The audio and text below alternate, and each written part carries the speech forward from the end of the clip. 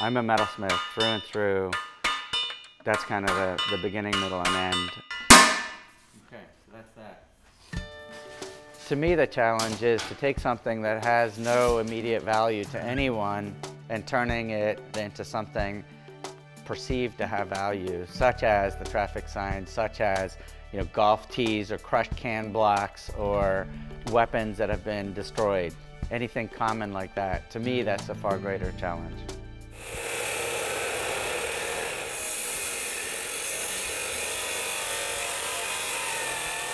Both my parents were from Zurich, Switzerland. They came here in 1961 to study at the IIT, Illinois Institute of Technology. My father is an industrial designer, my mother is an artist, so I'm kind of a, a hybrid of what I've learned growing up from you know, design on one hand and art on the other. In 1974, 75 was my first metals class. I knew that that's what I wanted to do. So I started making jewelry. I started selling in street fairs really early on. Then after high school, I had to start thinking about what to do with the rest of my life. My parents, thankfully, found me a position as an apprentice for a really amazing goldsmith in Basel, Switzerland. His name is Alexander Schaffner. That experience was pivotal in my life because I was re-immersed in the Swiss culture, not a word of English for, you know, over a year. Everything had to be exact, precise.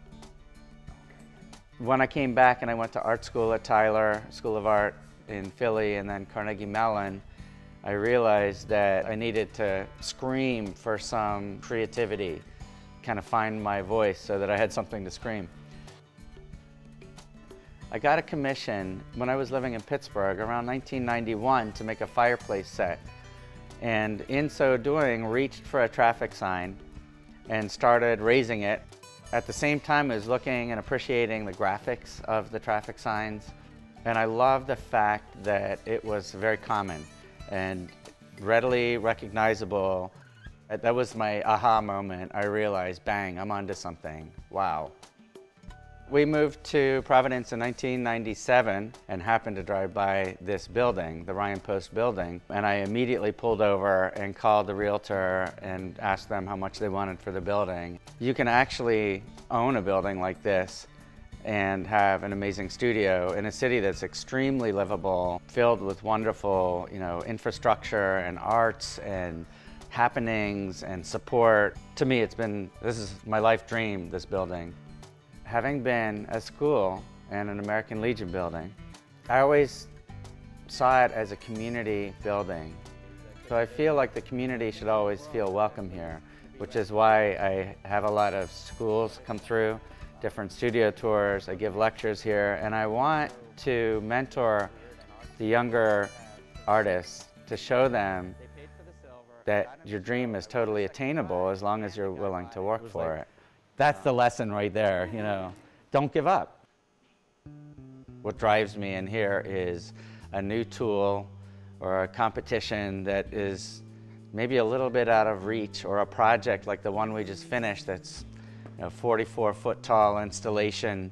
That's the challenge. That's inspiration to me. I made a set of flatware that I created a whole kind of stretching mechanism to create um, expanded metal in my studio. What inspires me is architectural elements, gritty, urban, common detritus of the city.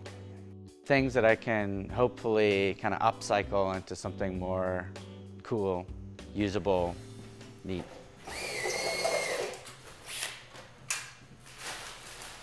A good example of something I'm really proud of is, for instance, the transit chair.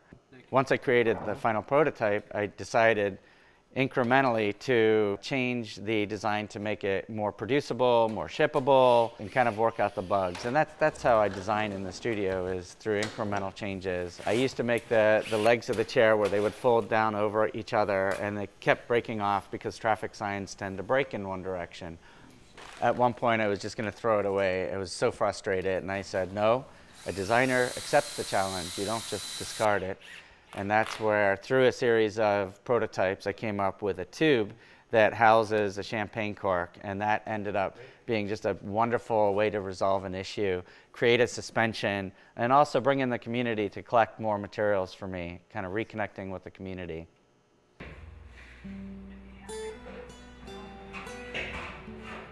Here we have the focal point of every jewelry studio, which is, you know, all the hand tools, some of which I brought from Switzerland.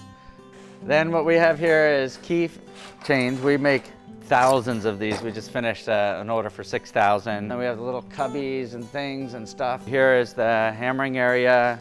And what happens in the circle shear is it's kind of like a gigantic can opener. That ends up being used for coasters or keychains. And this is what ends up getting either turned into a pentatray if it's exciting in the image, we'll set it aside and send it to my spinning company, which is in Pittsburgh, to turn it into this lovely thing.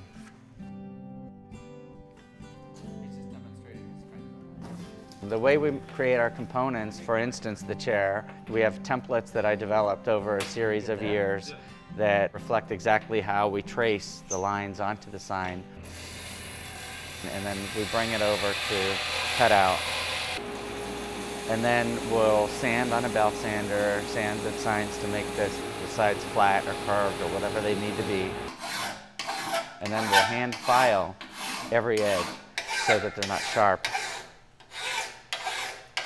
I'd like to credit Curtis Arick, who is uh, a former assistant here, who showed us how to warm up the signs to a certain temperature to allow the graphics to follow the bend. Then we go over to the bending. Two, three, go. One, two, three. One, two, three. Often, when it's a large chair back, two of us will have to man the uh, brake and really give it all our oomph. It takes so much um, energy sometimes to move these signs.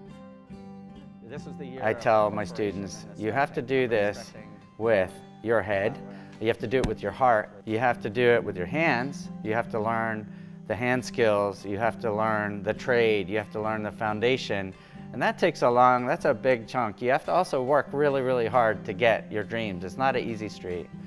Um, and you also have to have chutzpah. You really have to go out and get what you want. You can't just sit under a rock and hope that somebody discovers you. If you can uh, pay attention to those four and fertilize those and nurture those, you can end up being a pretty happy artist and be able to do what you want to do.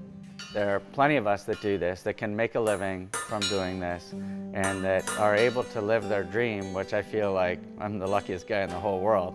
I get to do this, you know? What's not to love?